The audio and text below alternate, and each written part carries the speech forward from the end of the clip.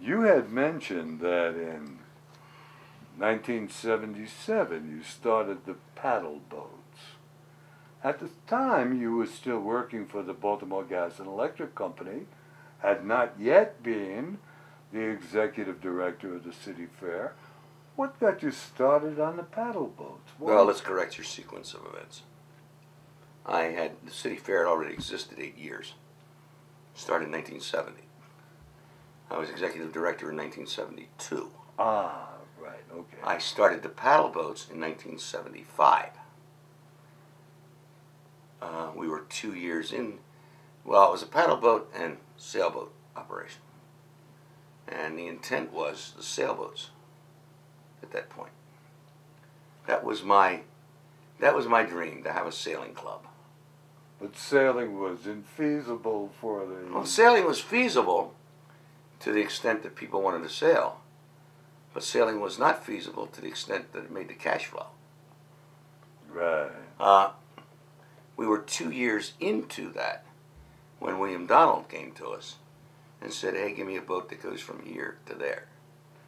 And there was nothing either here nor there at the time. That's right. There, when you went from here to there, you didn't know which you were, you had reached. Which is now Harbor Place to the Harbor Place and the Science Center. Okay. What convinced you that there would be a here and a there? William Donald Schaefer. He was a man worthy of being followed. And you did feel that his vision of construction and development was both feasible and going to be realized. Well, to the extent that, uh, with respect certainly to the water taxi, there was it was a good deal of money for me at the time, but it wasn't it wasn't company threatening. The risk involved. That is, if it hadn't worked at all.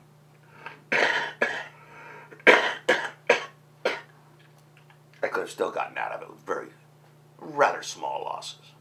I mean that that's that's the point. That How was- many boats did you have running on that? Well, that first what water taxis? Yeah, And one, just a one boat. one 21 passenger electric powered boat that ran sometimes. yeah.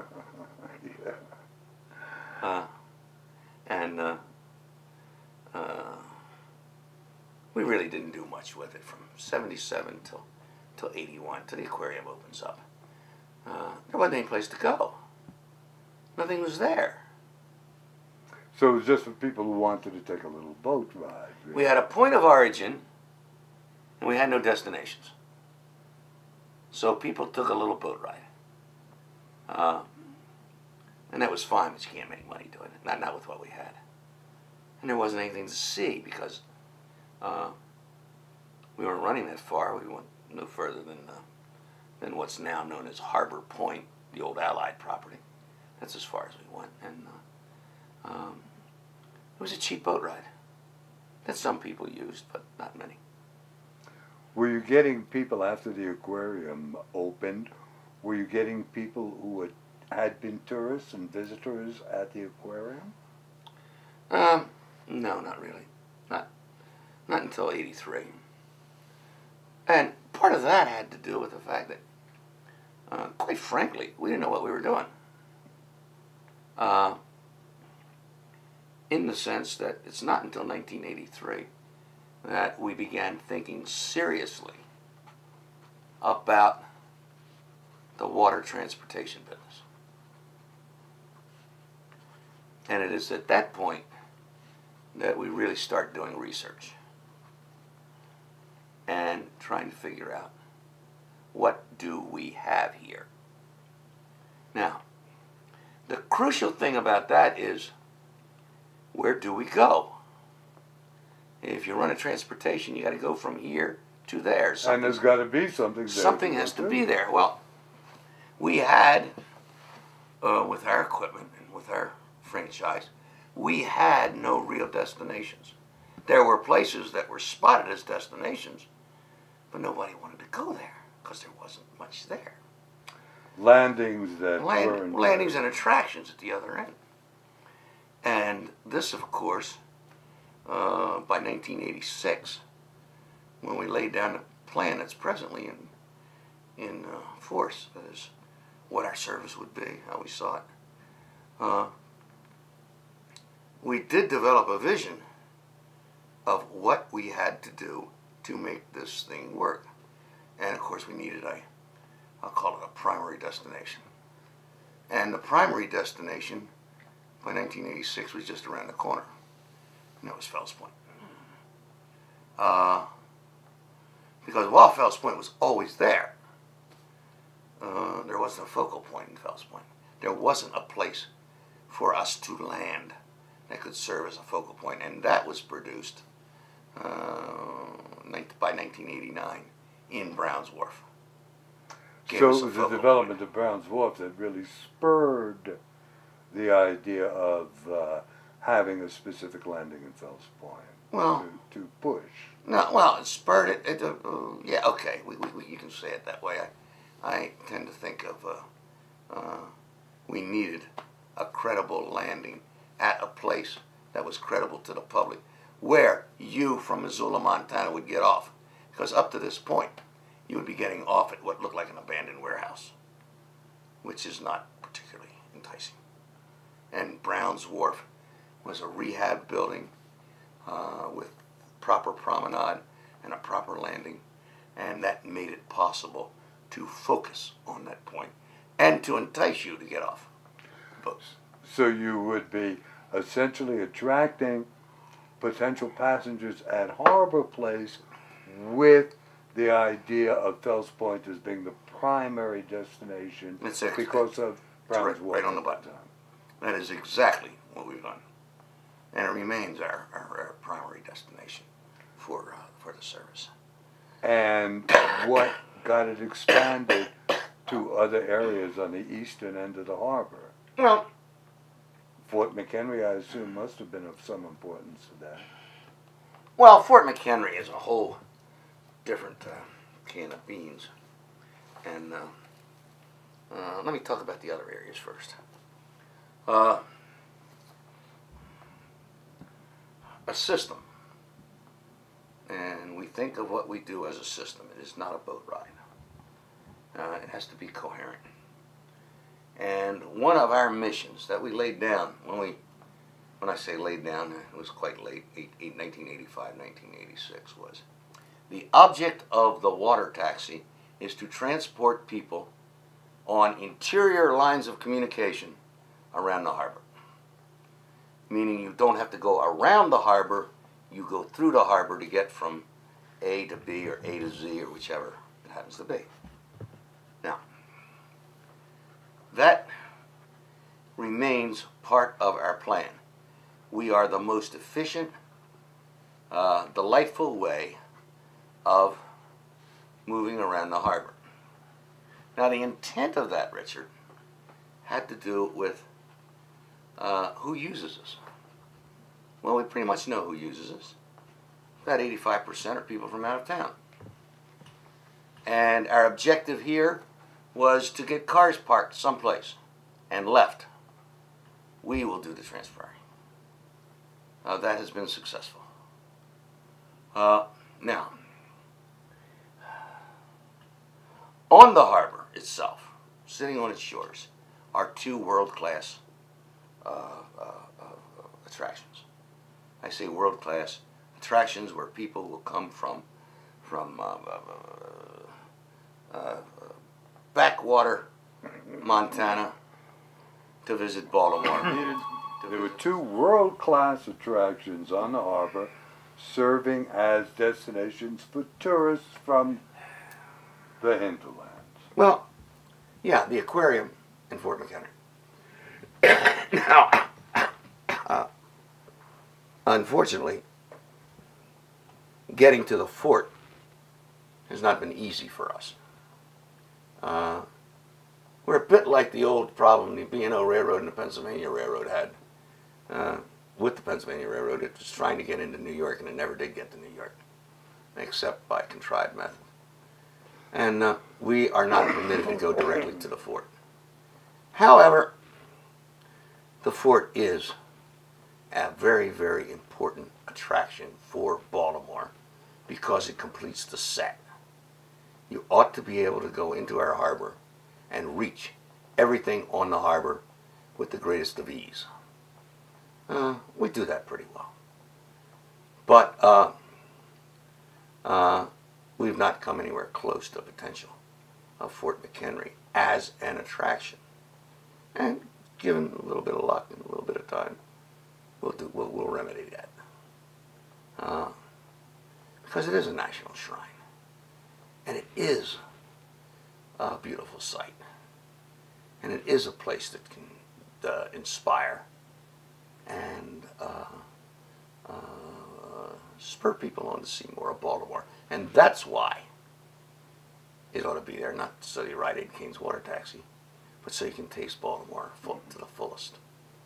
But the third point on this triangle being Fells Point. Mm-hmm. Ah, well, Fells Point, on the other hand, represented an interesting problem in the early days. Uh, until 1990 or 91, if you walked up to a concierge in the harbor and asked, what's at Fells Point? There's a very good chance you would have been told you don't want to go there. Even that recently. Even that late. Uh, we went into. Uh, that almost reminds me of what you had said about as a uh, as a boy being warned away from the uh, water. And I heard Gilbert Sandler, who tells Baltimore stories on the radio the other day, and he's also within our age range. Right.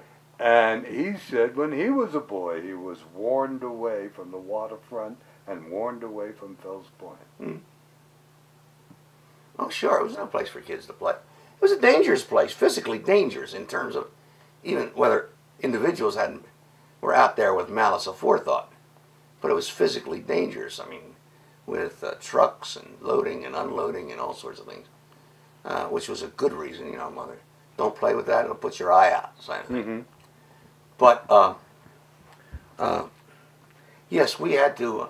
We set up a program, Cammie and I, where in, uh, in the course of a season, we would haul two or three groups of concierges out to Fells Point and uh, just sampler trips so they could see what was here because the concierges were keeping people away from Fells Point. And that was as late as the That was as late as 1990, 91. Uh, and uh, to a certain extent, we have made a contribution toward the popularization of Fells Point as a destination for visitors, uh, which is rather important. At that point, did Fells Point have still the uh, all the antique shops and old bookshops? Ah, okay, yeah, good question. Good question. Well, what in taking uh, in putting Fells Point in perspective, one must uh, uh, think a little broader. Fells Point is an area. Some call it a neighborhood. I call it a state of mind. Uh, but it is an area that for more than 200 years has been in a state of transition. It still doesn't know what it wants to be when it grows up. Now,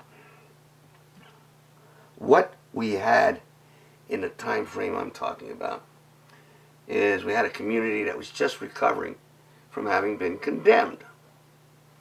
Because at one point, uh, in the late 60s and early 70s, what we think of as the beautiful Fells Point Canton waterfront was destined by sort of government fiat to become an expressway.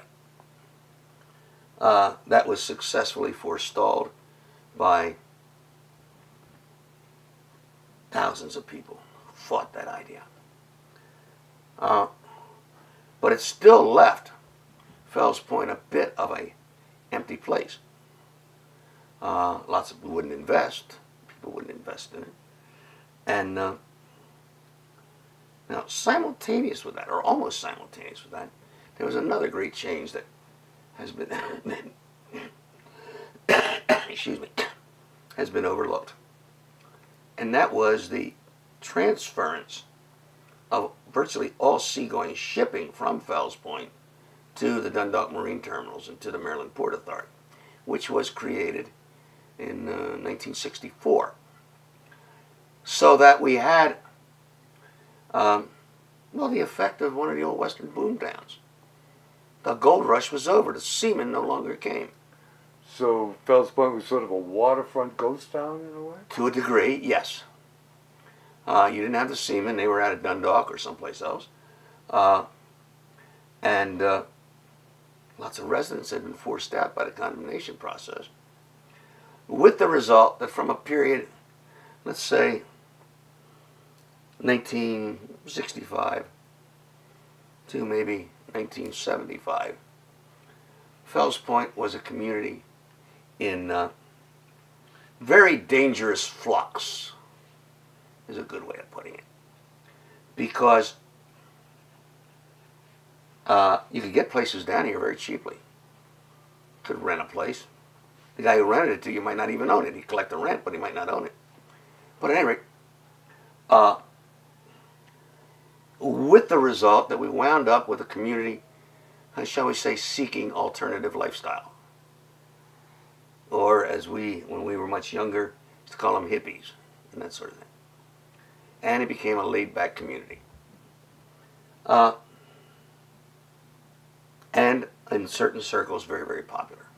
Certainly was popular on Friday night. Certainly was popular on Saturday, Saturday afternoon, Saturday night. But uh, it was an alternative lifestyle. Our shops were funky. Our shops opened more or less irregularly and infrequently. Uh, the merchandise they offered was certainly different, uh, with the result that you get a period, a fairly long period in there, where uh, lots of people walked around wringing their hands. What is going to happen? That seems to be uh, um, straightening itself out. There seems to be a destiny being sought now. Uh, uh, and this is all in the aftermath of defeating the plans for the East-West Expressway. Oh, absolutely. Oh, absolutely, yeah. Uh, what you have is you have extensive and expensive rehabilitation going on in many, many of the properties. You have your retail space, which commands premium prices. Uh, many, many of what were Saturday, Friday and Saturday night beer bars find themselves changing into trendy restaurants, uh, trying to upgrade, upscale their whole operations uh, to coincide with a lot of development that's taking place. There are office buildings going up all around us.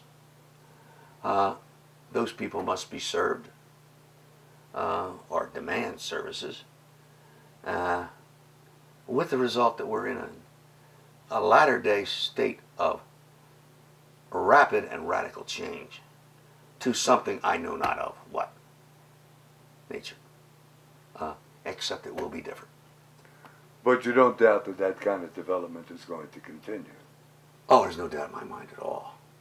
It must happen. Uh, because you're getting you're getting a, a you're getting a a, a whole uh, uh, whole community of offices and, and upscale services down here. They people are going to work there. Those people are going to want other services that are something more than uh, uh, a hot dog with some onion spread on it. Do you think many of those people will intend to live in the Fells Point area as well as work here? Seems to be some indication of that. A lot of indication of that. I mean, you have um, properties that are being built and sold at uh, very, very substantial prices.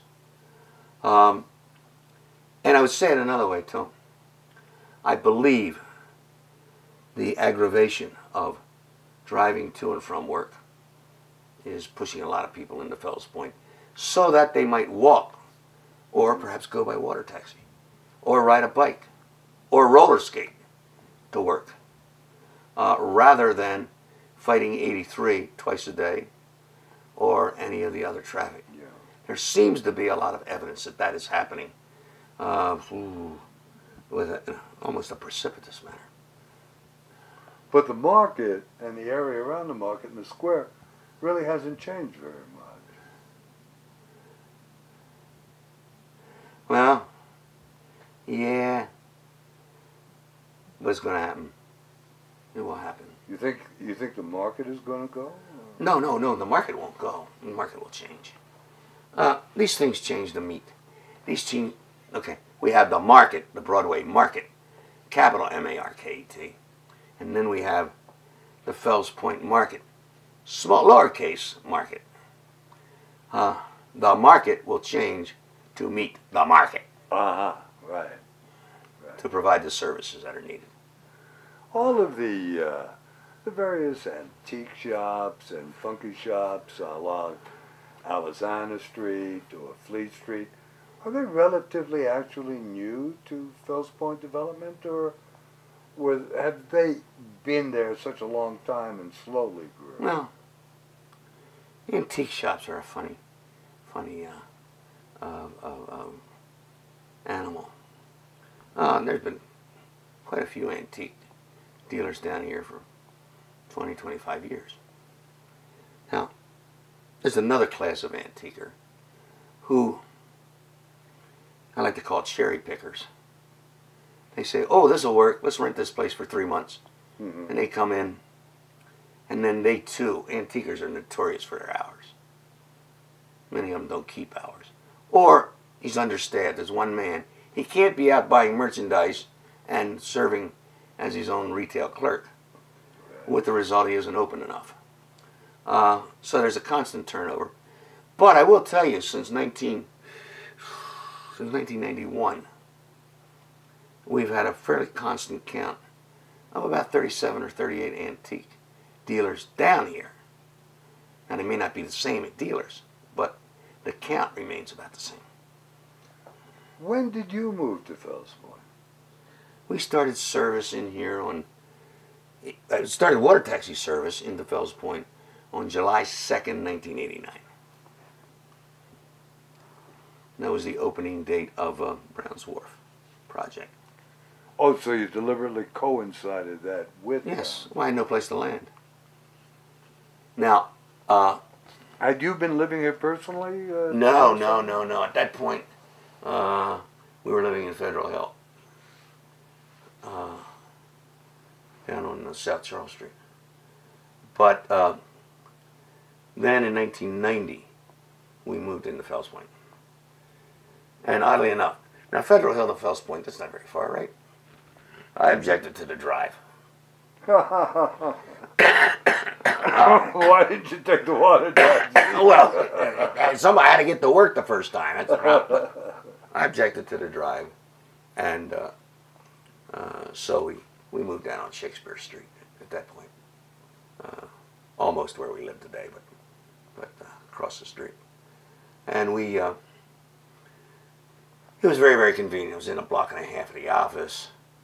Uh, all the services that Fells Point offered were what I wanted, and I I become very comfortable. And your office at that time was a trailer. Right, right, right on the water, right at Browns Wharf, yes. Uh, and we've had a good time. It's been a good place to work and live, and play, and fight, and do everything else. When uh, when did you move over to uh, 1732 Thames? Uh, 93, 92, 93, something like that. 1992, 93. Has it been? Wow. Time flies when you're having so much fun. yeah. I was I was sort of expecting you to say four or five years ago. It's been that No, long. no, that's been been over 10 years. But that's going to have to be moved shortly soon. Oh, wait a minute. Excuse me. You, I answered. I answered the question I heard. I didn't answer your question. Oh. Uh, we moved uh, on to Thames Street in uh, uh, uh, uh, uh, February 1, 1999. Oh, so I Yeah. was, yeah. So, okay, so I wasn't Sorry about the that. senior My, moment. my apologies. my apologies. I answered the question you didn't ask. But that's going to have to move too soon. Yeah, we're going to move some, uh, but Not, go to the Maritime Museum. yeah, not substantively. I mean, we'll be the same place, but a few yards one way or the other. The dock area on uh, Thames Street, that was the original docking area that you established. You where, where water taxi lanes Where now? you are now, the, Well, no, we landed at Brown's Wharf, that right on Brownsville. right on Brown's Right. Wharf property. Uh, that that space was committed at the time we started service down here. It was committed to the old uh, Maryland Tours company. Had that space tied up. We weren't able to get in there until '99, uh, and uh, uh, so that's that's a fairly recent, which works instantly. The fight that went on over the East-West Expressway, which took so many years, did that, you think, function as a unifying element to the community? Did it make people more community conscious or build more of a family kind of atmosphere into Fells Point? As a result of that, a kind of cohesion that came from so many people being kind of mobilized by this concern? Well, certainly it was a. It created a common cause. There's No question about it. Uh, it created a sense of, sense of community. There's no question about that. Um, it worked. It did indeed save the community. I mean, we could be presently blocked out by six lanes of highway from the harbor, Which would have destroyed the whole area. which would have destroyed. I mean, uh, one need only look at parts of New York and any other big city where they built expressways along their water's edge, and you separate the water from the people. So, um, but it also created a lot of turmoil because when you create by particularly government fiat, when you create a vacuum, something has to fill that vacuum. And that's what they did with the condemnation. I mean, all these properties were condemned. And with that condemnation, you created a vacuum. Something will fill that vacuum. So that we've had a lot of feuding, fussing, and fighting over what kind of occupancy is going to take place in this broadband. uh, the um, the conservationists versus the preservationists versus the recreationists. Uh, uh, that argument still goes on, and one has fun with that because uh, you have the well, my neighbor, God love him, wonderful guy. He he is a a recreationist. He says, I want Fells Point to be like it was. Well, the next question is, like when was? Uh, Um, then you one points out that, gee, are you sure you want that? Because, by and large, over most of its history, Fells Point wasn't a very nice place. I'm not sure it was ever nice until recently. Simply because it was dangerous, it was lawless, uh, uh, it was subject to a lot of transient traffic in terms of, of uh, residents coming and going, not for very long in either way. Uh, with the result that to what period are you going to recreate it? And when you get there, you're not going to like it. Is the question. Uh, with the result that it seems to be shaking out now. Seems to be shaking out. There seems to be not a great public agreed on uh, uh, uh, destiny, but rather a it's kind of a quiet. This is happening. It will. We'll, we'll get someplace. But whether that's good or bad, I don't know. That remains to be seen. you think that uh, gentrification, so-called, in Fells Point is irresistible? Well, I have problems with that word gentrification. Go on. I have problems with gentrification because it implies if you can read and use a three letter word or a three syllable word that somehow this is bad, and that's absurd. Um,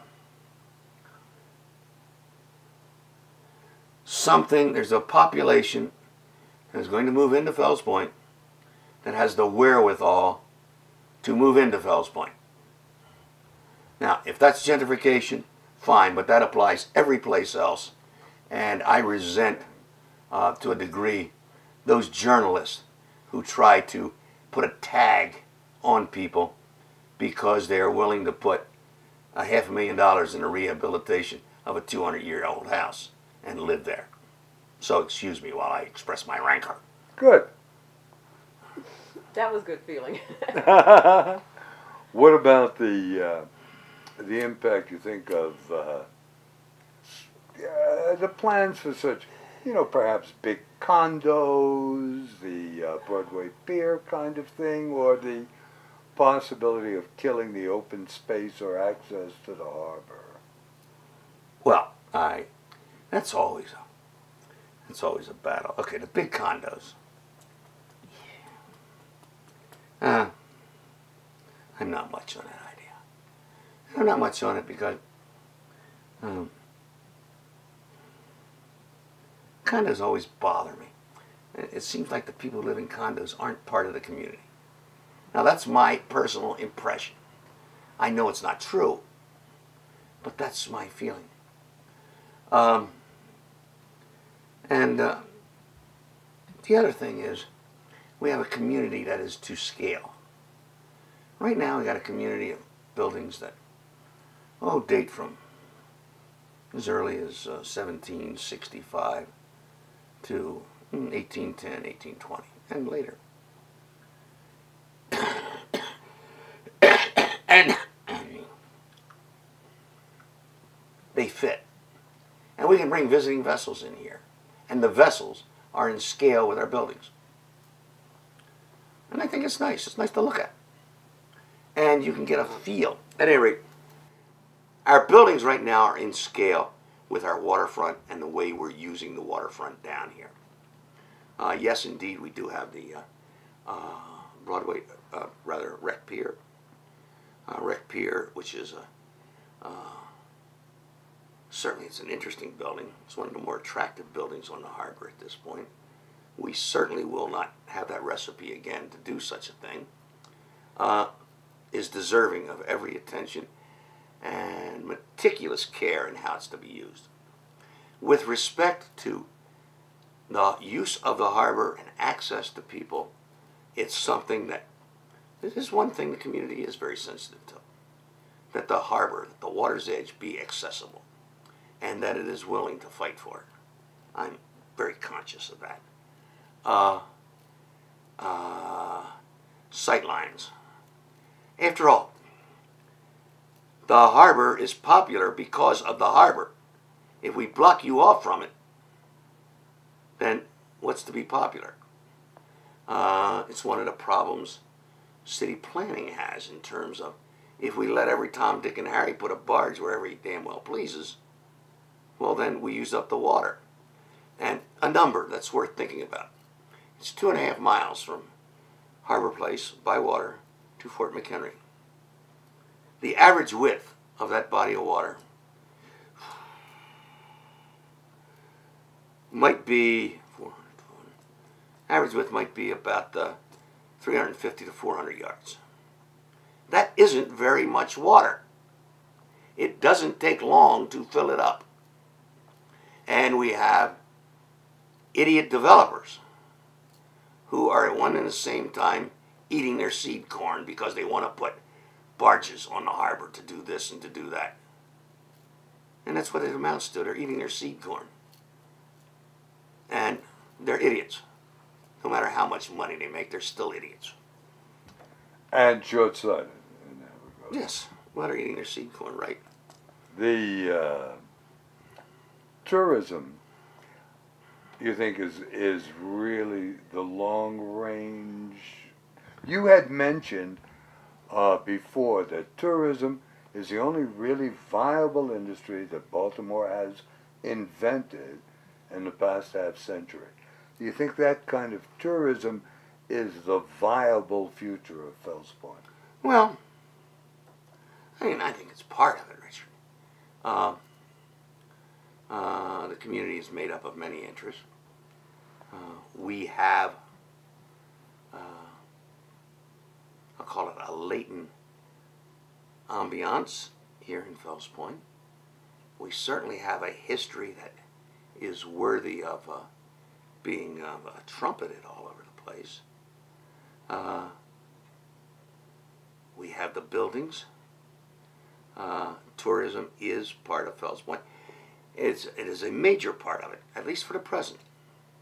Now, as our retailers and our restaurateurs find new new markets, uh, will that remain the same? I don't know. But everything's subject to change. Mm. But on the other hand, if we uh, pursue tourism with a vigor, we have a lot of fun. It's certainly going to fill up what I'll call a long transitional period. Uh, to the extent that one need not really worry about it um, too much. I think tourism will grow. Tourism will grow um, to two or three times what it is today. Then what happens? I don't know. Would you want to see tourism as the as the primary economic motor here? Not really. It's uh, uh, as one of the uh, motors, yes. As the motor, no. Tourism's too volatile. Uh, you get a fire in Bangkok. Uh, somebody develops a cough in Hong Kong. Um, uh, uh, you have an oil spill in a railroad tunnel. All of this hits this this kind of business uh, ter- astonishing with astonishing rapidity. Um, however, as a transitional industry and as a as an important element, yes, but as the element, no, I don't think it makes good economic sense. Uh, we aren't uh, we aren't the city of London. We aren't the mm-hmm. city of Paris. We're Fells Point, and we ought to remember that. But Fells Point does have the uh, historical, you know, background of being this oldest, or arguably one of the oldest living, working waterfront communities in the country. Isn't this something you'd like to see? Oh, absolutely. Maintained? But um, but we still have we still have a we've got a number of obstacles there. Yes, I I, I should like to see that played. Uh, and the first obstacle we have is we haven't learned how to convince the world that this is an important place. Uh, the world's uh, is not convinced, and we're not convinced yet.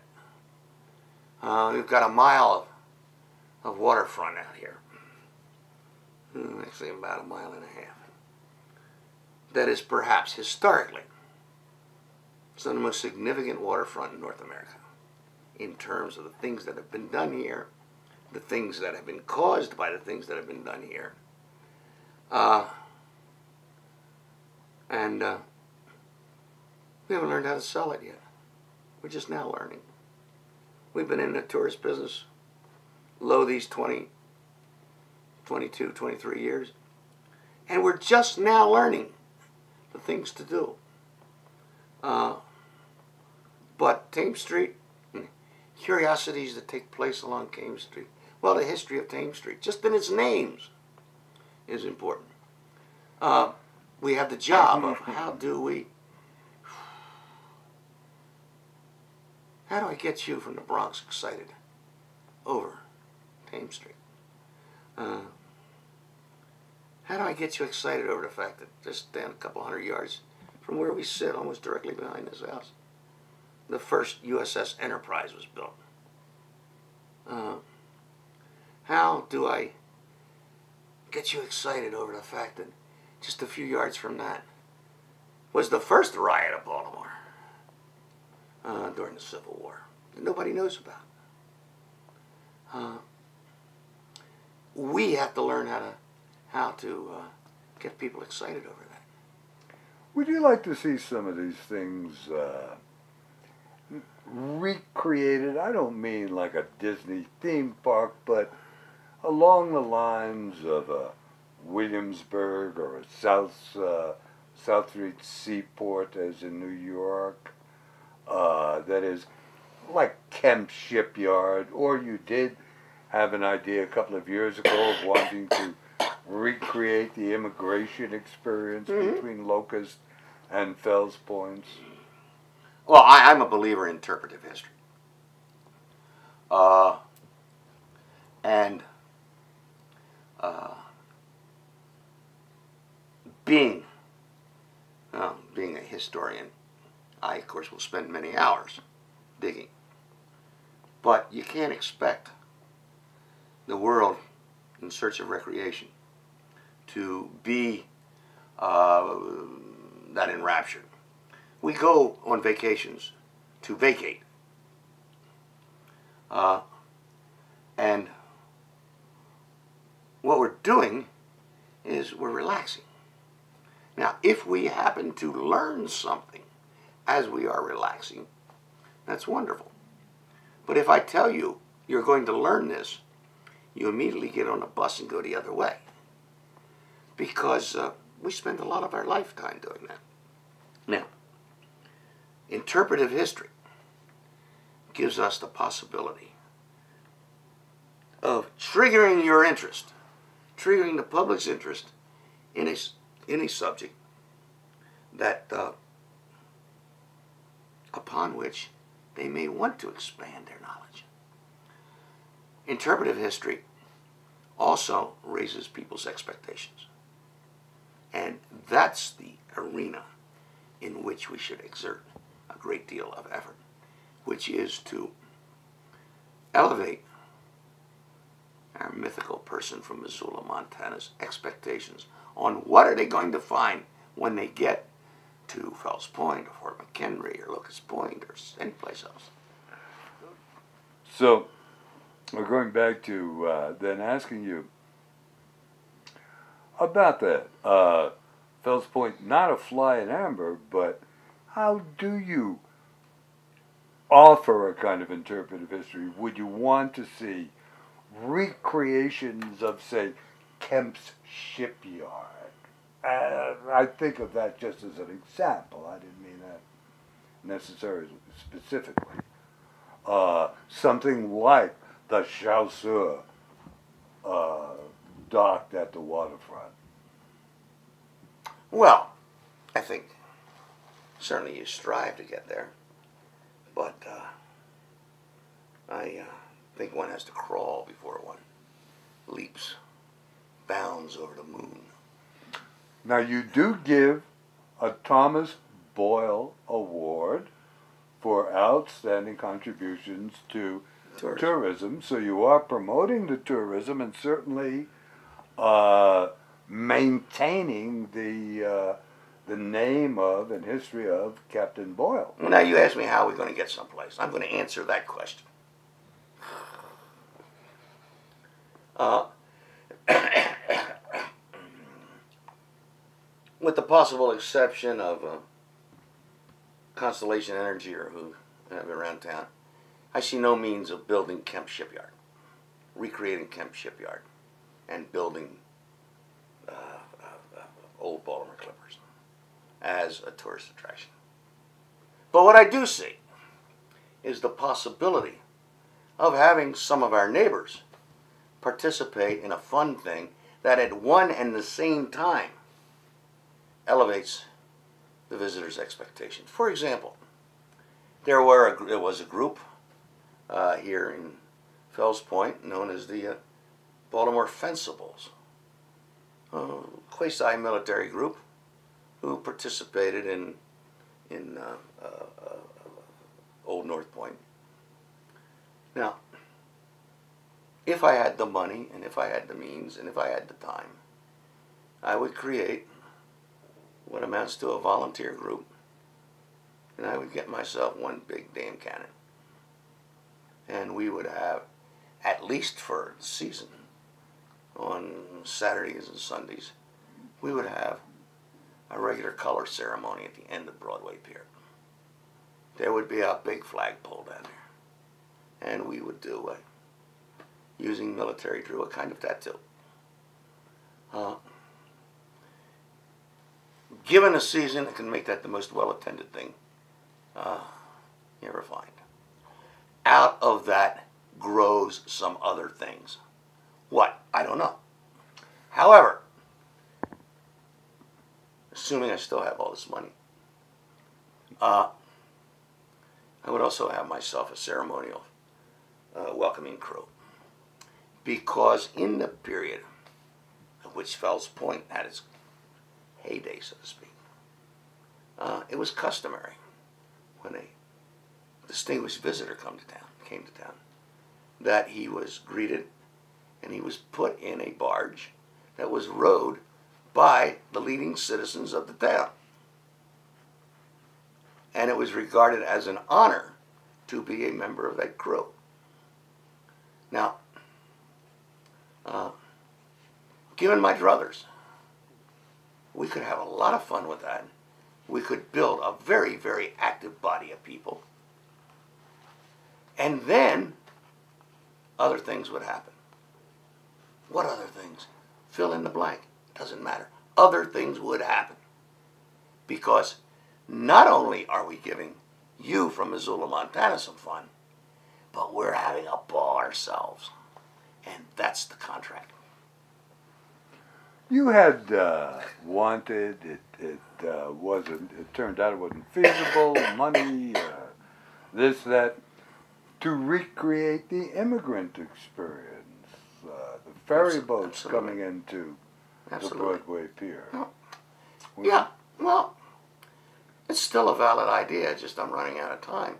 Uh, it has to do with uh, the average American has an image of immigration as the immigration experience, uh, which comes from two places.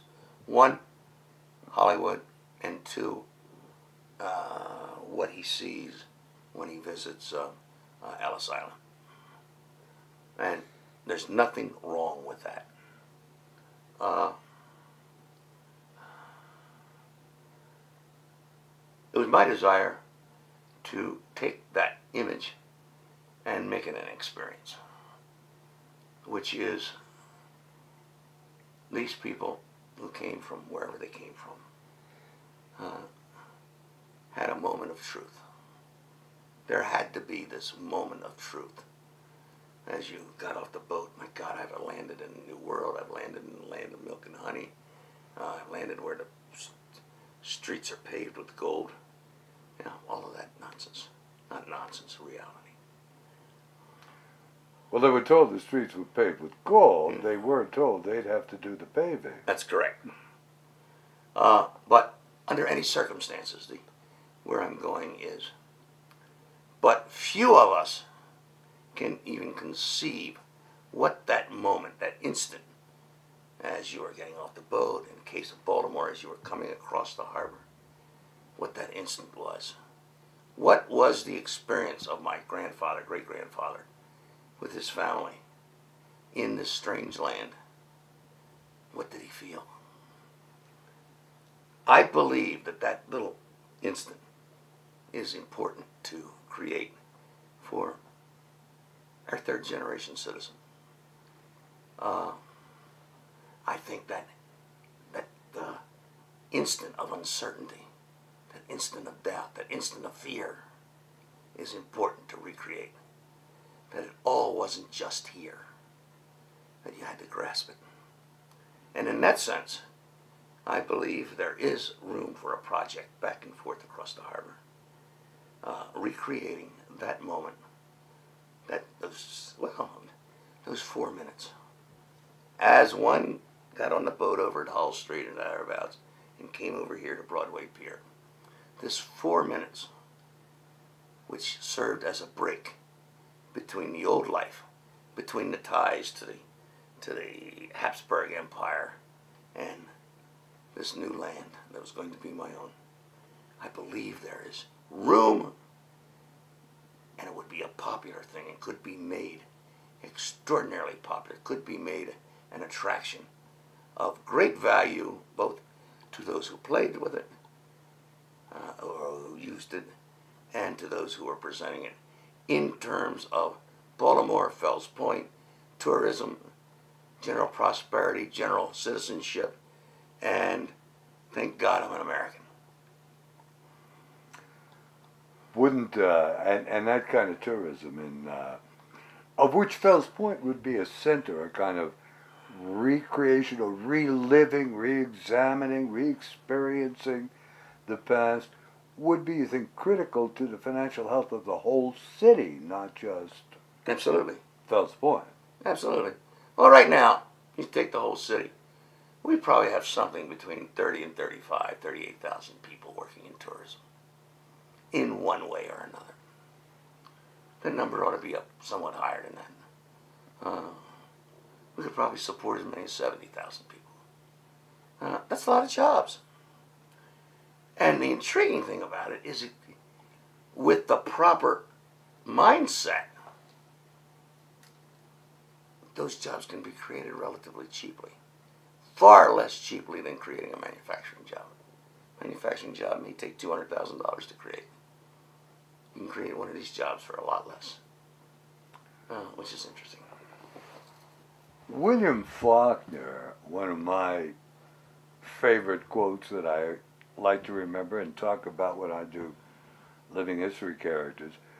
William Faulkner remarked when he got the Nobel Prize the past is not dead, it's not even past. Would you like to see Fells Point as a repository of that idea? Well,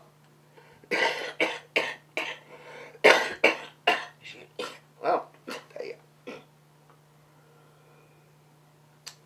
Uh,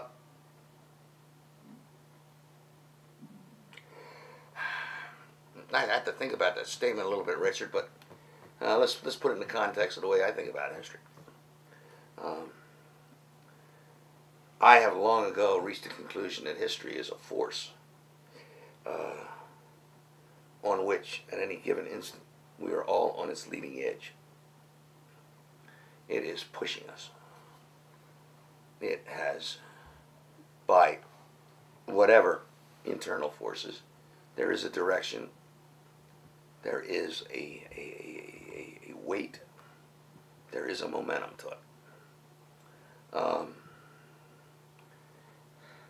in this sense, uh, I agree. Yes, there is a place. Fells Point is worthy of being remembered. It's worthy of being put into context. Uh, and it's worthy of pointing out the idea that uh, we can learn from the uh, uh things of our parents, and it is important to us.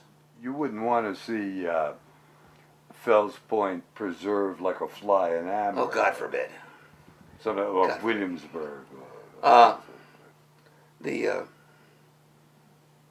uh, no, no, no, no, no, no. Um, I like I like Williamsburg incidentally. Uh, I enjoy it. It's wonderful to be surrounded by these wonderful, wonderful artifacts, and the meticulousness with which they attempt to pursue authenticity. I think that's great. Do I learn from it? I'm not sure I do. Um, because in spite of their uh, search and quest for authenticity, it is inauthentic. Williamsburg was never that clean. Williamsburg was never that healthy. Uh, the people who make Williamsburg work never looked that good. They were always sweaty. Uh, it's a and in saying that, I don't mean to be critical of it. I just mean to say that it's uh, too um, uh, too much pro- too much prophylaxis Mm-hmm. has been provided. It's too. Think it as a kind of a theme park. Uh, It is a notch above a, a notch above a theme park, but that's what it is, and that's my my problem with it. That uh, it scrubs out all the little all the smudges The smudges had to be there. That's what made the place work. Are we getting cleaner here in Fells Point? I mean, obviously, all those properties are not condemned. We got a lot of smudges. Uh, but, uh, but, but it's not, it's not, uh, what's the German word? It's not ersatz. You, know, it, it, it's, it's not phony. Williamsburg is the way it is because that's the way it wants to be, and that's fine. It becomes a corporate objective. Um, uh, is Fells Point cleaning itself up? It is slowly. We got a long way to go. There's sort of a uh, an odd uh, contradiction here. A lot of Americans tend to think that learning something while they're on vacation is going to be somehow morally uplifting, which of course accounts for the popularity of a place like Williamsburg. But Fells Point, not exactly morally uplifting, but people do seem to get excited about the historical understandings that they uh, glean from just walking these old streets and learning about the old buildings. Uh, is this something that that Fells Point is going to serve a need for to Well, to fill with people? I certainly think it's one of the uh, one of the stepping stones that we have to build on. Um, but the lawyers have a term called discovery, um, and uh, uh, artists frequently use the word serendipity. Uh, I believe Fells Point is one of those communities wherein the visitor can engage in a lot of discovery. Oh my God, I never knew that. And achieve uh, what's the what's the, uh, uh, meaning of serendipity? Pleasant surprise. Achieve the pleasant surprise in this unlikely spot. And uh, uh, so discovery and pleasant surprises in a place serves to drive home a memory um, uh, that uh, sticks with them. And in my tours over the years uh, that we've had, is the object is it's an hour tour, give them something they can tell, not point out seven million bricks. Give them a story they can take home. What was the old song? Oh, give me uh, to build a dream on. Well, that there's there are things that you can carry home and tell over and over again if you make the if you put it together. And that's how that's part of how we get to wherever it is we want to go. I think. We live our lives by narrative, by the stories we tell each other, by the stories we tell ourselves. And this whole area, the harbor in general, Fells Point in particular, seems to be a marvelous sort of quarry from which to dig out wonderful stories of American history to expand on. Is this what you think we're doing with the I think- I think- I light think- tours? And We're getting there. And of course, we've got uh, here this sometime in the next two months the new museum will open, and I think it's absolutely important. The Maritime. Maritime, Fells Maritime Museum, there on Thames Street, and I believe it is an absolute major step in that direction, and that out of it, a number of things will emerge. Uh, particularly in the realm of interpretive history. I, uh, and I think we have to make the effort uh, to uh, uh, provide a little taste of interpretive history uh, around the town. And of course, there are a whole bunch of things. There ought to be markings up, more markings on our streets, uh, explanatory plaques in greater profusion. But um, uh, but I think the major step will be the opening of uh, of the Fells Point Maritime Museum. One of our problems in stimulating tourism has been the lack of an authentic maritime museum. Uh, we have a maritime museum, but it doesn't doesn't remember anything in the sense that it's not associated with Baltimore. Actually, it went out of its way to disassociate itself with Baltimore. Uh, but what is about Baltimore? What is relevant? In this case, we are going at the heart of one of the rich uh, maritime pockets of, of, of, our national maritime heritage here in Baltimore that is unremembered largely. Now, does this become a primary destination? That's a long ways away. This is just a small museum. Uh, primary destination requires some either a miracle, a saint of some sort doing something. Uh, uh, St. Patrick marched in the parade. There we go. Yeah. Uh, or a uh, major plant. Well, we're a long way from both of those. But it does give us a very, very strong uh, ability to focus. And I believe out of that focal, uh, out of bringing parts of Fells Point into sharp focus, other things happen. Other things relative to Baltimore, relative to immigration, relative to industry. Uh, something happens. Somebody says, wow, we can do this. Why can't we do that? Uh, with the result that you, you create excitement and uh, uh, uh, uh generate traffic. Will it be in the near future something that will attract our mythical mama from Missoula? No. That's a long ways away. But you got to start someplace. But might not it attract, if not somebody from that far away, a great many people from New England or Pennsylvania or Virginia or, or Ohio? Hmm. Regional, northeast quadrant. It, no, it will get it will get good attendance. Uh, how strong a an outreach it will have, well, that remains to be seen. But it will be well attended. Uh, whether and if it's well attended, they will seek greater attendance.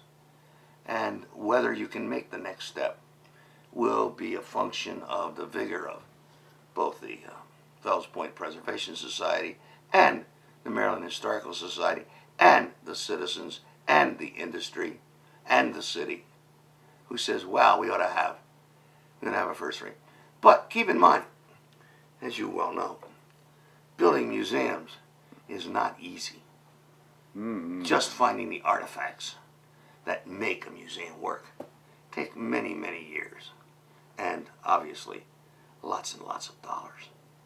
Uh, so that this is a contributory force, perhaps a vigorous contributory force, and perhaps it becomes the um, the husk wherein my mythical honorary crew can find a home, and the mythical fencibles can find a home. Perhaps it becomes that. But under any circumstance, uh, it's the uh, uh, becomes a stimulus. And that's part of its purpose, too. Not only to stimulate you coming in from some other place, but to stimulate me as a citizen of Fells Point that, gosh, this is a pretty good place I live in. Uh-huh. And revealing to me things I don't know, which I discover every day. Cohering and uh, community spirit, too. Right. So that um, it's a uh, oh, what's that terrible word? I hate to use it. It's a synergistic kind of thing. but, uh, well, advertising people use it all the time. I know. But, uh, I know, they kill a lot of good uh, words for us. But under any circumstances, it uh, that's its importance. To me, as the water taxi, it's important to me in a direct line because it gives me a chance to sell something about Fells Point that right now, Fells Point doesn't have a focal point. the museum becomes the focal point for my people on my boats to say, gee, when you get down there, you want to go down half a block. Before you do anything else, do this. Uh, this is the starting place. The uh, uh, what's the French expression? Raison d'être. Raison d'être. Raison d'être. Oh, I love to see that such things. In the years that you have been living here, I know this is uh, hard to, to pin down, but in terms of flow or the trends over the years of your involvement in the harbor and Fells Point, what are the biggest changes that you've seen, that you've personally undergone in Fells Point? I mean, has it become, obviously it's become less dangerous than it once was, but has the trend been towards more money or less, more business, more density, or has that stayed the same? Uh, the uh, the nature of market large M, market small M that you referred to before, how have those changes interacted? You know, are there any reflections or observations on on those kind of community trends and flow that you might have? Can I take a stab at a different question that's like along that or- line? Good. Um, I would be interested in you picked the times, but like a snapshot of Fells Point, what it was like then, and maybe you know how it compared to the rest of Baltimore, or how it fit into the rest. Mhm. Good. Um, and then you could, you know, you could kind of talk about some of the big changes from snapshot to snapshot. Great. Maybe. Yeah, a snapshot in time. Uh, excellent, great. Uh, what would be, uh, for instance, as Jacquie said, a snapshot of 1991 when you moved here. Would that? Yeah, or even you know if there's a particular period of history that you know about that you can envision, even if you weren't alive. I mean, just pick whatever snapshots of periods.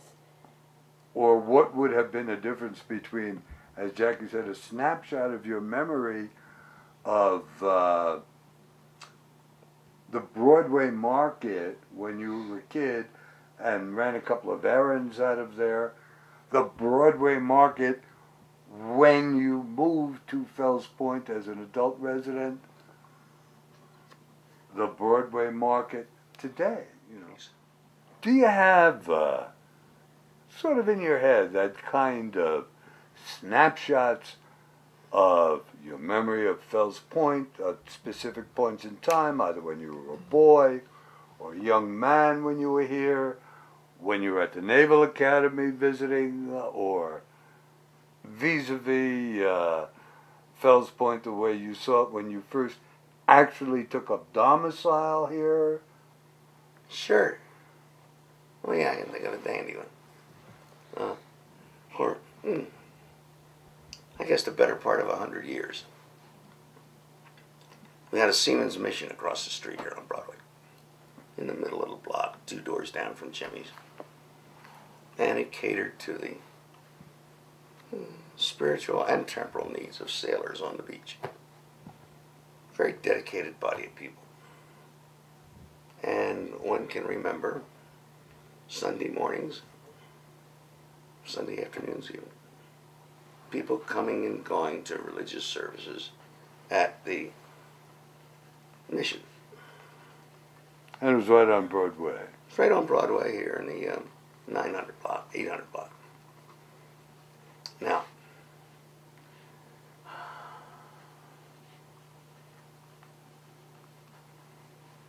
two years ago, I have a very clear memory. The mission had closed. Ceased functioning. I have a very clear memory of a Sunday morning of a large number of people waiting outside of Cooper's, which is just around the corner. Nice restaurant for Sunday brunch. That's probably symbolic of Hmm. the range of change that has taken place in this community in the last, we'll say, 30 years. Uh, in the sense that here are people, nice people, going to Sunday brunch for their their uh, um, mimosas or whatever. I think is that the idea you're looking for? I hope. It's the best idea I have, best snapshots I have in my head. That changed from But, uh, Vision to Cooper's Mimosas. Right. Um, both had to do with survival, but uh, in different ways. Now the mission has become a furniture store. Uh,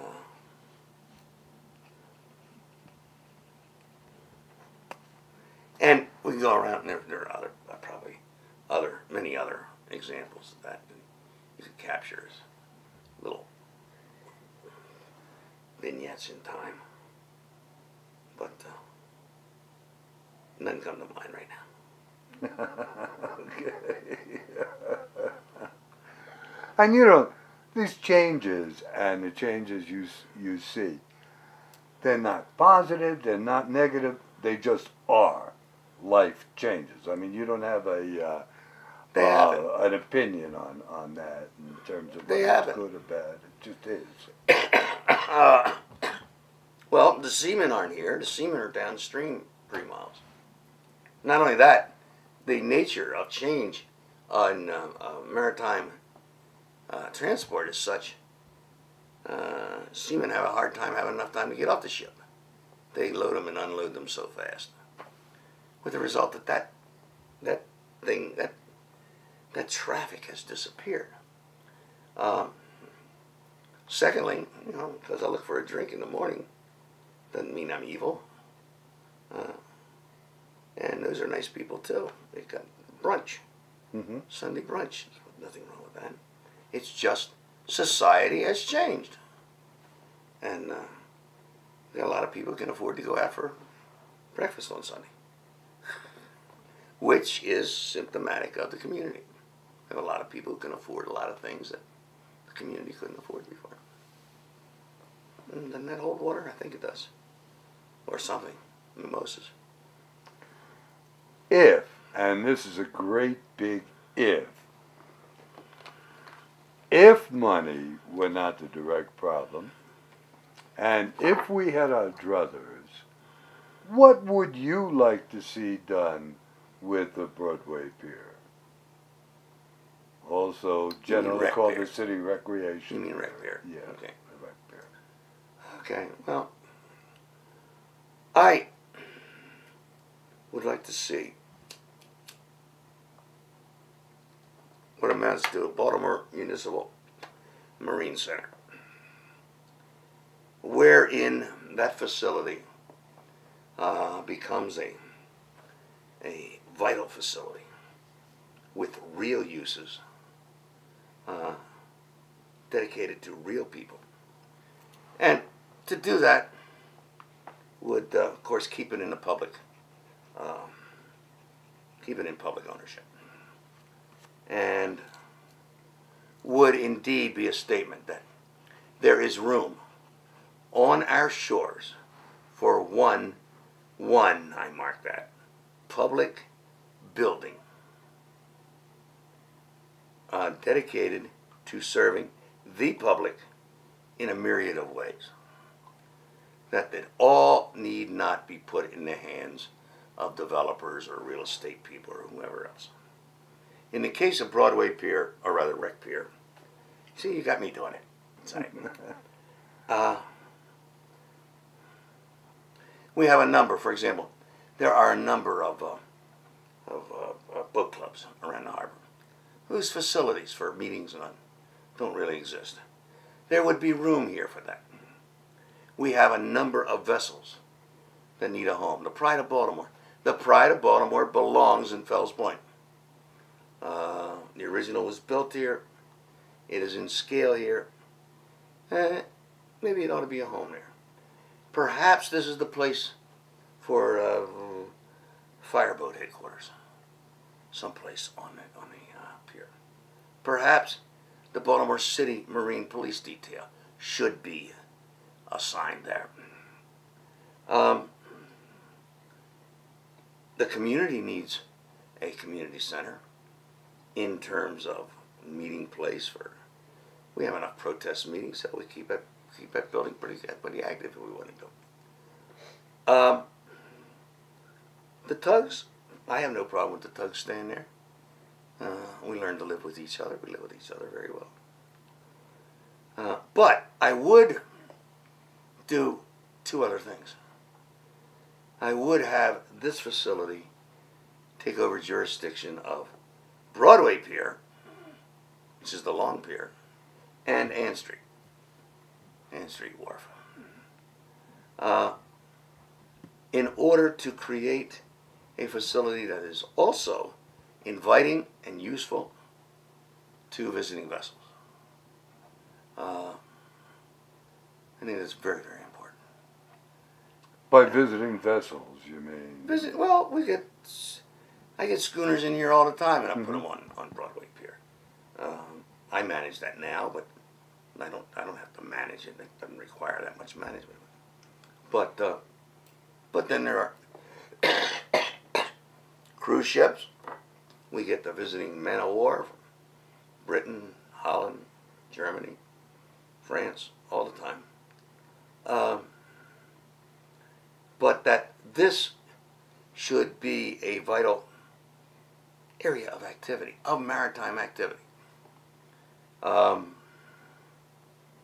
capable of being used by the other facility we're just now about to open, the uh, uh, uh, uh, museum, maritime museum, for gatherings or brief exhibits on the water.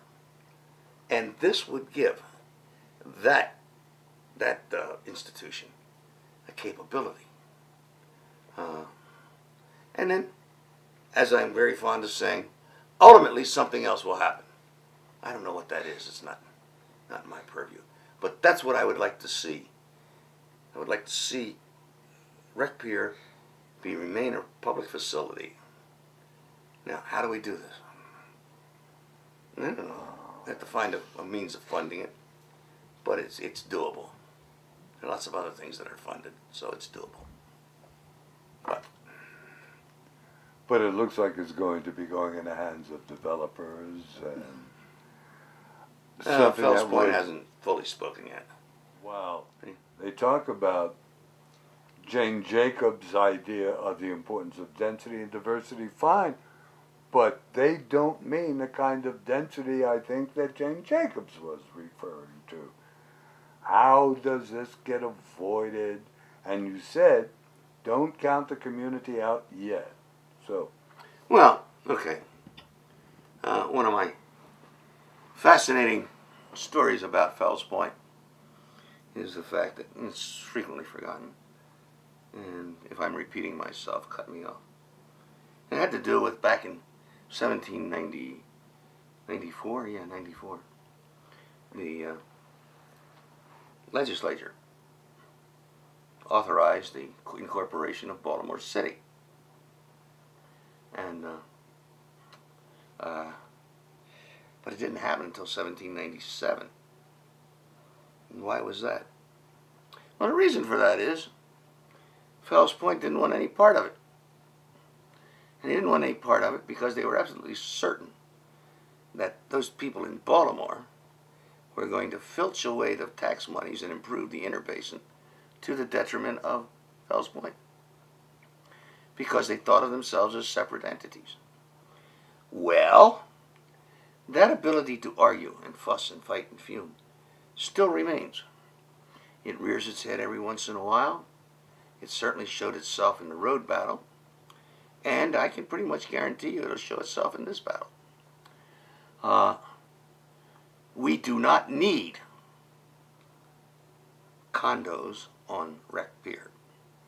We do not need townhouses on Rec Pier. Uh, if perhaps the entire world were filled up and that was the last open space, maybe so. But it isn't the last open space. And what could be built there commercially is a mere pittance to the future. What could be achieved there, uh, socially and municipally, is a great contribution to the future in terms of it being a center of activity, a center of activity to which people can walk. They won't need their cars to get there. A center of activity that is the outlet onto the water. We have access to the water by the promenade. We have sight lines to the water. But where do we get the use of the water?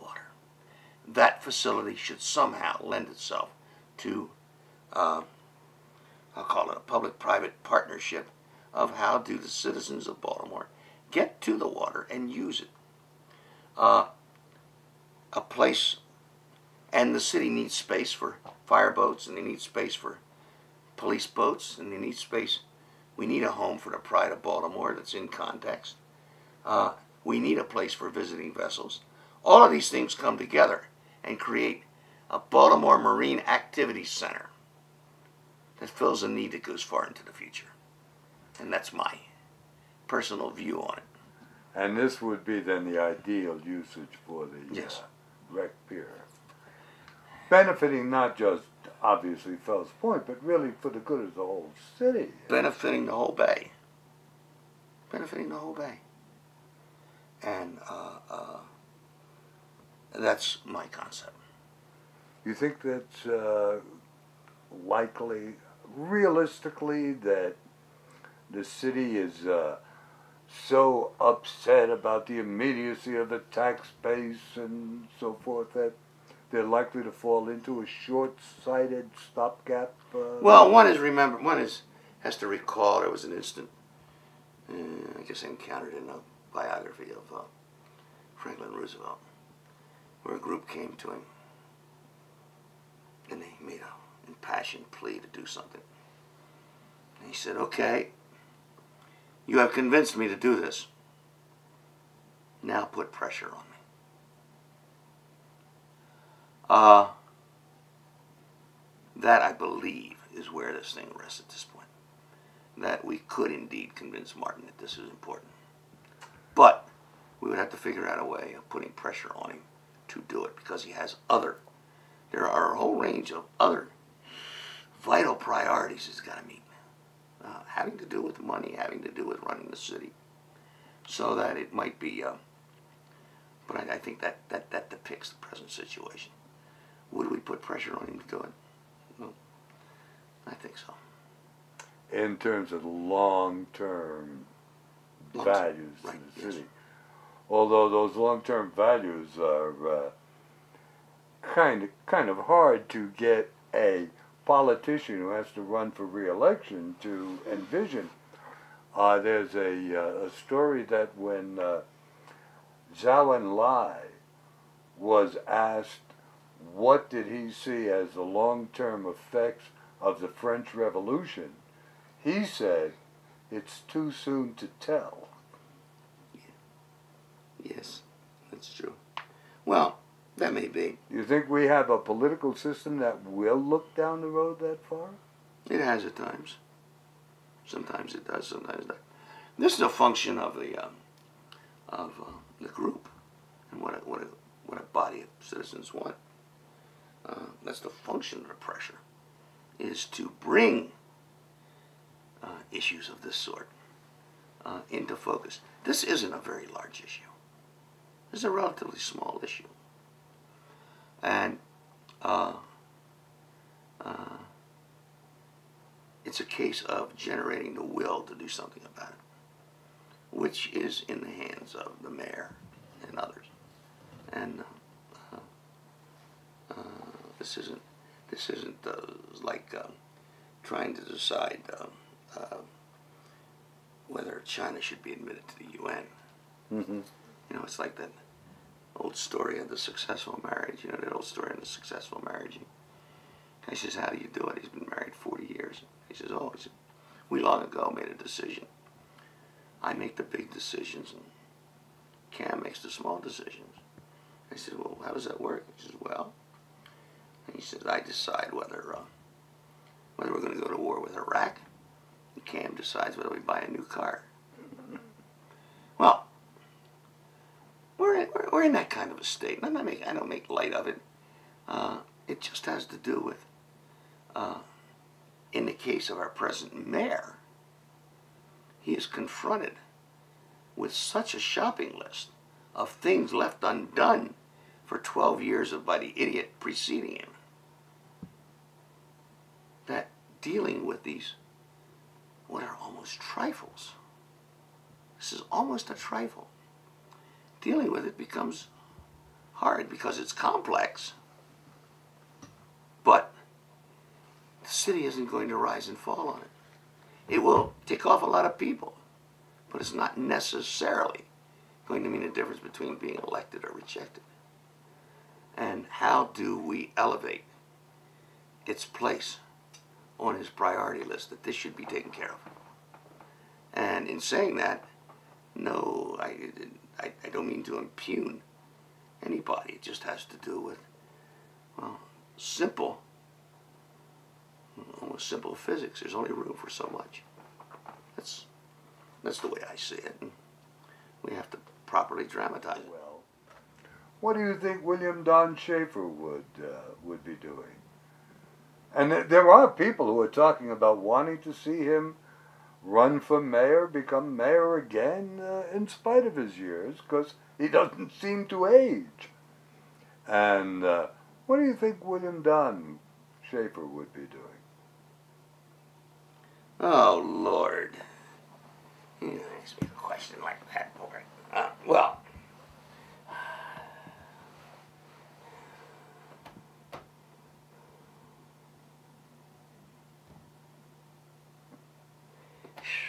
I'm, I'm, Too speculative. uh, yeah, that, that, that that's not a fair question. I I I, uh, I I can't I can't speak for William Donald at this point in his life. I can't speak for him. Uh, at any other point, I can't speak for him. I mean, William, Well, I Don- didn't mean William. Donald in 1968, William Donald in 1975, William Donald in 1985. He would probably do three different things, but, but uh, uh, he would do something. But he had a long-term vision when, uh, certainly when he was mayor of Baltimore. Yeah, yeah, you're right. Yes, he did. I mean, just the idea of him saying, Ed, I want a boat that goes from here to there, and one day there'll be a place to go. Yeah, that's true. That's true. And uh, one of the things that that uh, that uh, when we start talking about somebody like William Donald, one of the things about William Donald is we have to have to grasp the fact that for whatever reason, he had a body of people available to him that are not available today. In all seriousness, a body of first-rate executives who made their time available, made their money available, uh, made the talent that they had available to them available to him uh, that he could tap. I was just looking looking today at uh, an early.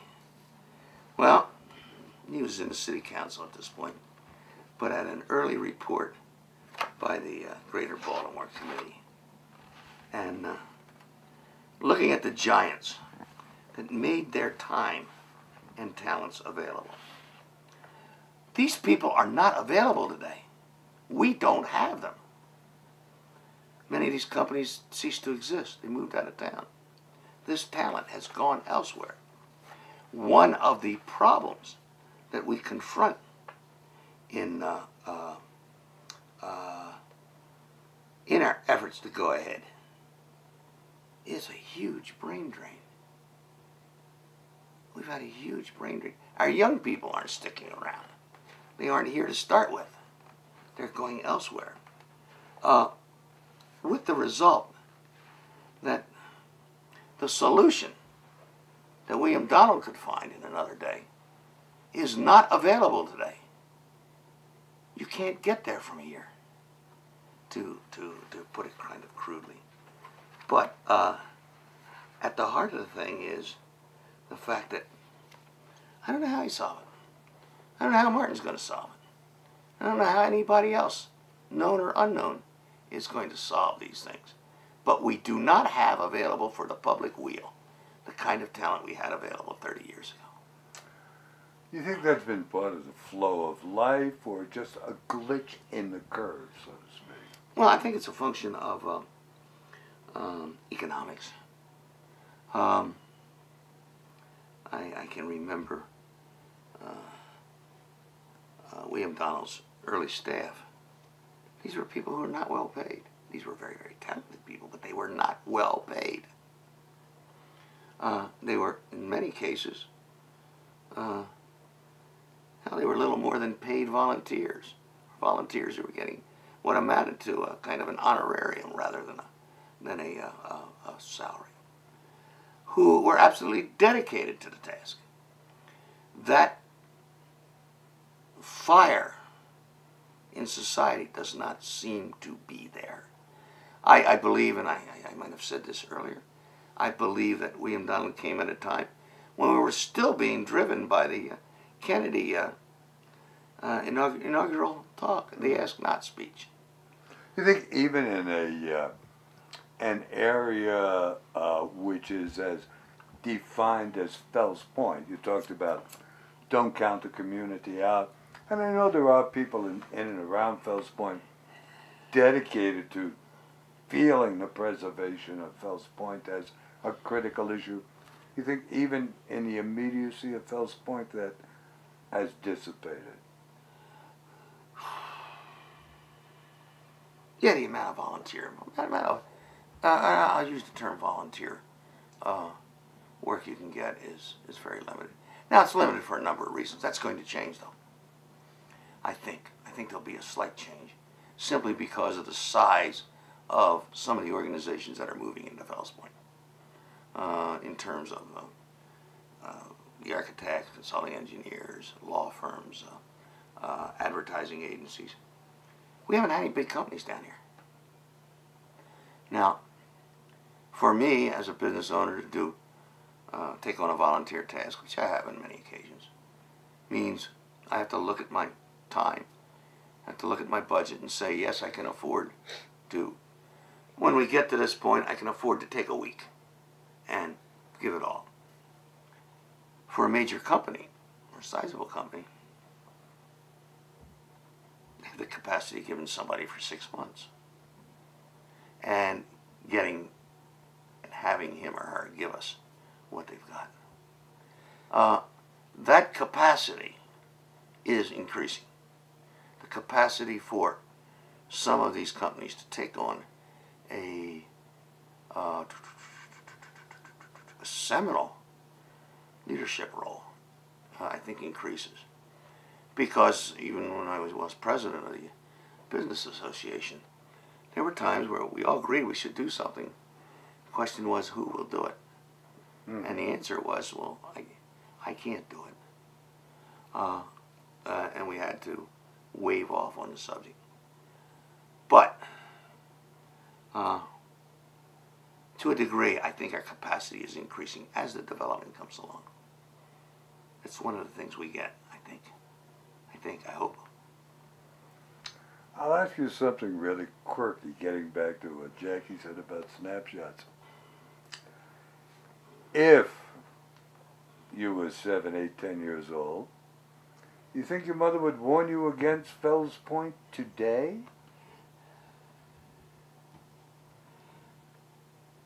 Well, she probably would, but for a different reason. Uh, as mothers would warn anybody seven, eight, ten years old today. I mean, you go on a playground behind your house, you're warned. Well, of course, but I mean, the world has changed. It wouldn't be the kind of dangerous plays or no, no, kind uh, of attitude. But the, the reason for warning the warning would be there, but the reason for would be different. Uh, yes. Uh, uh, because, uh, well, we're all aware of it. There, there, there are some nasty people out there on the street. Oh, indeed, indeed. But I meant uh, specific to the Fells Point fear. I mean, the only people who killed children in my day were mothers. yeah, that's true. the uh, I have heard people express the fear lately that if they built a big condo hotel anywhere in or around Thames Street, that this would kill the Admiral Fell Inn, and if it, the Admiral Fell Inn hurt, that would then ruin much of the quality of the whole area around the square. Do you think that's valid? No. Nah. Admiral Fell's got the capacity to go on. Admiral Fell can survive. Admiral Fell has, they've created a product. It's a very nice product. They sell it well. Uh, well, they might have a few months of competition, uh, where they felt the competition, but they would fill it up again. No, I, I think that's that's um, uh, uh, smoke more than anything else. Here's another thing. Going back to the uh, concern with the experiencing and the uh, of history, uh, interpretive history, and I was saying this to Jacquie about some of the ghost stories we tell. Silas Clinchbone and Micah Adams, Morgan Williams, that are drawn, that we really, and you have built on the history of Fells Point. Is this a palpable contribution to the lore of the neighborhood, of the area, of the idea of Fells Point? Oh, certainly. Uh, the uh, uh, Fells Point is an old enough community. We, we've got lots of ghosts around here. Uh, we're blessed because they're fairly quiet ghosts. Uh, to find them, we really have to have to uh, dig them out. But uh, I was recently impressed by a program on on the History Channel having to do with the ghosts of Charleston. And they have a remarkable gathering of ghosts. And of course, the reason for that is those Charleston families have been there for seven and eight generations. Uh, with the result that there's lots of room for the ghosts to find proper subjects to reveal them, to whom they can reveal themselves. And uh, one of our problems in Fells Point is really not enough of us have been here long enough to uh, recognize that sometimes strange phenomena that takes place is really a ghostly event, not an accident. Uh, that takes two or three generations to recognize that this happens with some regularity. Uh, and certainly with a with a uh, uh, uh more than a 200 year history. Oh yes, we've got ghosts. We've got them. And uh, uh, and we're finding more all the time. okay, I'm going to wrap you up with, from my point of view, one last off the wall question. What do you think Edward Fell would say? Now, Edward Fell. What would Edward Fell say? What would Edward Fell say today if he walked down what he called George Street? Would he recognize Fells Point? Would he not be surprised? Would he be astounded today? Hmm. Well, I don't know about George Street, but I think he'd recognize Shakespeare Street uh, if we took the street lights off. Uh, I think there would be a sufficient number of familiar silhouettes there that he would not feel like a stranger in a strange land. I'd be baffled by the cars. Well, but the uh, obvious technology, of course. And he would also be baffled by the paving. Uh, but I'm not sure. I often have said on some tours that uh, when I point out that Frederick Douglass bought his first book there on Thames Street, and I said, Thames Street, uh, the silhouette on the north side, would not alienate uh, Frederick Douglass in 1839 or thereabouts, whatever that year, 1839. Uh, he wouldn't feel at home but he wouldn't feel totally alienated. And uh, with that in mind, Uh, Fell being a, uh, see, I guess they were were uh, ex uh, ex Quakers, weren't they? Uh, would probably want to know what the rent was. What are the monthly collectibles? right. But uh, no, I think, and maybe he's one of the ghosts that are knocking on the door all the time. I don't know. All right, I'm done. Okay.